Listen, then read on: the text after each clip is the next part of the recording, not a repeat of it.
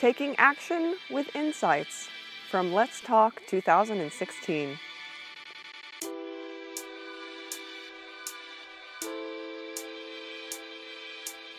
Hello, everyone. Today I am doing a very special edition of Let's Talk.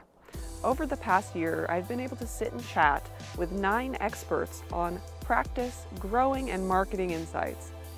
One thing I loved asking them at the end of sessions was What's one thing that you can do right now? And I've taken all of these insights, these actionable small steps that you can take, and put them into one video.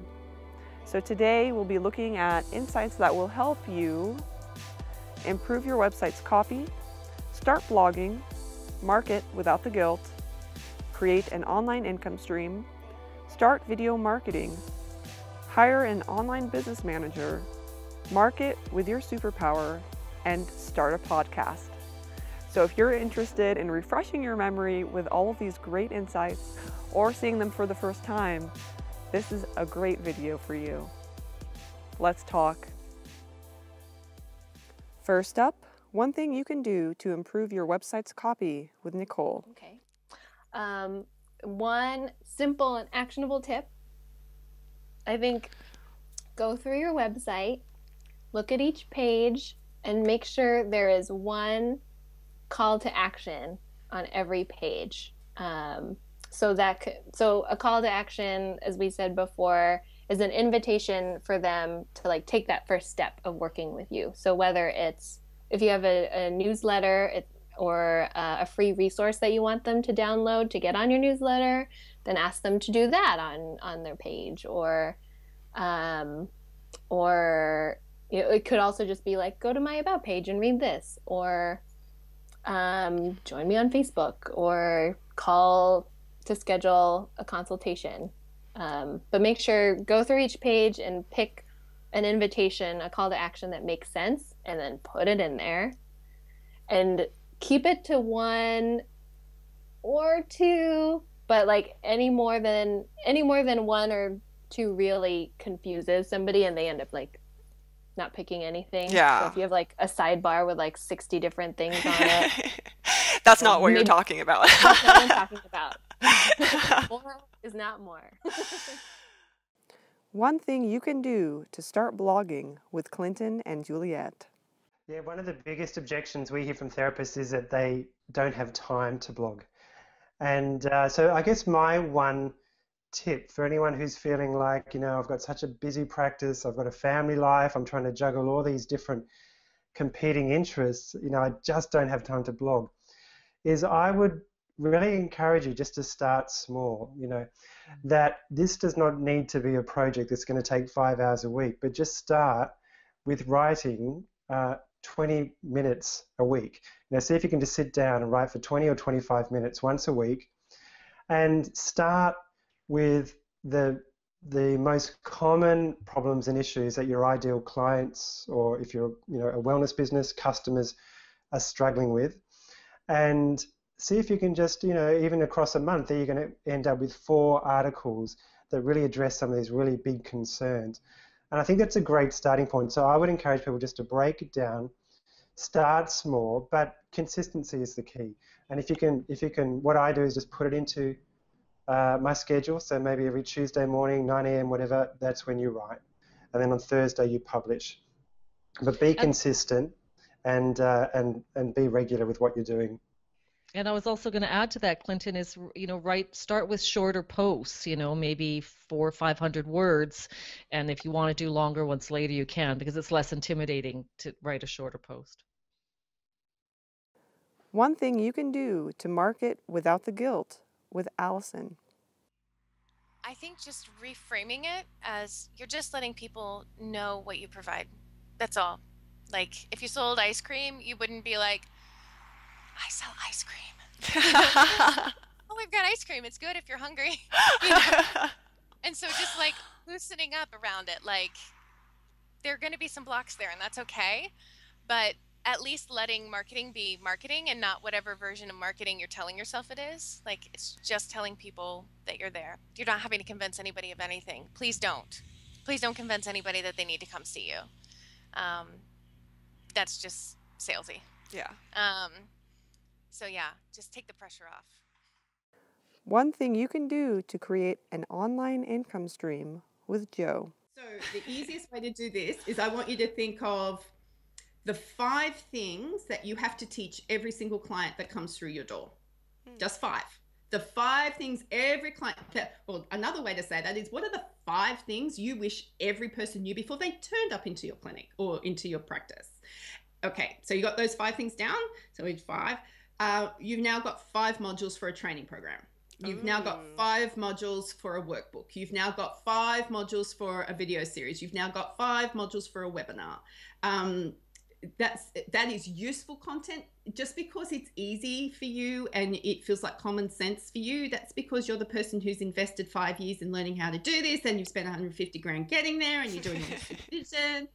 Don't devalue that people need to know that therapy or any clinical intervention we got to demystify it that is the biggest bridge we need to get to the, the gap that we need to fill the bridge we need to build so do that with an online service that's it's not a big risk you're not you know doing emdr via skype or anything um, you're just informing people and helping them make a better decision about how, how then to choose you as the therapist they want to work with so that would be my one thing One thing you can do to start video marketing with Ernesto. Okay, so some of the things that I, in any of my workshop, one of the things that I help people break into a confident video marketer is grab your cell phone, and all you have to do is t- look at the camera, talk to it, and just say, "Hi, my name is Ernesto. I'm a licensed marriage and family therapist, and I am passionate about working with people who are wanting to market, but they're very much afraid to. So just continue to talk and talk and talk. Don't do anything about that. Don't post it anywhere and just replay it back to you. and just Ah, process cool. and just keep it there. Just keep it there. That's an awesome tip. I love it. Yeah. Just keep talking and then when you get confident, start ta- eh, challenging yourself more and start challenging yourself more until you become connected with that part of yourself that you are so critical about. One thing you can do to hire an online business manager with Francis. I, I would say to sit down and make a list of what you have on your plate. Mhm. In that, in all actuality, this is something that I tend to put in my email prior to the consultation. Make a list of everything. Don't leave anything out, even if it's you know feeding the dogs. And then to look at the top ten, and then try to narrow that even down into the top five or three if you want to get really technical and nitty gritty. And then out of those top three, prioritize what's the top three things I need to get off of my plate. Hmm. And I think if you, if, if a therapist can do that and they can know exactly what they need to get off their plate, that just streamlines things a lot faster. One thing you can do to market with your superpower with Annie. Okay, so actually I'll take them back to their about page. Oh, really? So Yeah. I would I would go there because it's such an important place where people are going to visit usually right after the homepage and then they're going to check you out and then get a feel for whether they're going to take the next step. And so it can be a huge predictor of whether they work with you, how they feel there. So I would look at your about me page but with really fresh eyes Mhm. and ask yourself on a scale of 1 to 10 or hopefully not 0 to 10 but on a scale of 1 to 10 how much does it reflect your superpowers like how much Mm. is it really you and you when you're at your best and then go through and make some changes so one really important change for people can be getting a new photo or can be freshening up the language and making sure it sounds like you making sure that you are mentioning some of those qualities about yourself and um, and then making sure that it feels like a conversation with the client One thing that you can do to start a podcast with Melvin. Uh, I would say this is more of a mental thing, Mm. uh, but don't let the the sort of thing to get it perfect stop you from launching a podcast.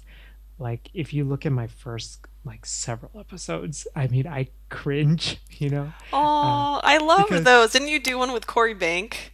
yeah. In the I beginning, did. that one was good. I liked it. it. it. was good, but you know, it was just I I remember just being so scared and. Uh, even those initial ones, like my voice was so shaky. It's still a little bit shaky, but uh, my my voice was so shaky, and but I think the thing is, if I had just um, I felt so much fear back then, and if I had just felt that fear and not taken action, uh, like I know I STC wouldn't be where it is now.